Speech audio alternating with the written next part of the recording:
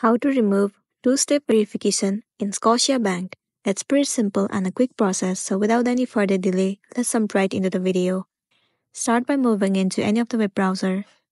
In the search bar, search for Scotiabank.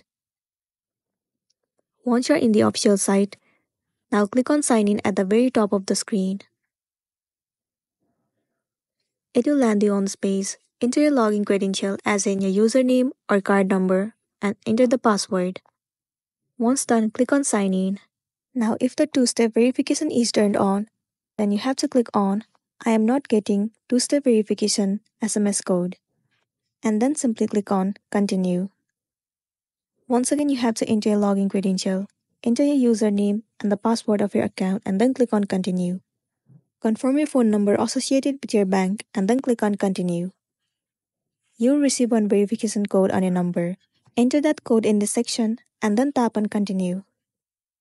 Now click on Remove two-step verification. And there you go, your two-step verification has been removed from Scotiabank. So that's a wrap for this video. If it was helpful, give it a like and check out our next tutorial. Thank you.